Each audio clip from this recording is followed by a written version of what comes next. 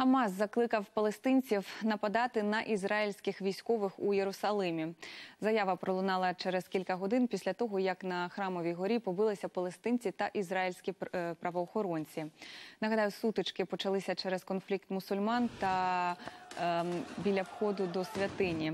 Зазвичай під час е, ісламських свят доступ до храмової гори для немусульман закрито. Але цьогоріч мусульманське свято Курбан Байрам збіглося з юдейським жалобними днями, коли євреї оплакують зруйновані перший та другий храми.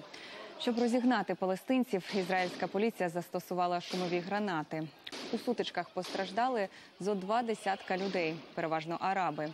Палестинська сторона заявила про майже півсотню поранених.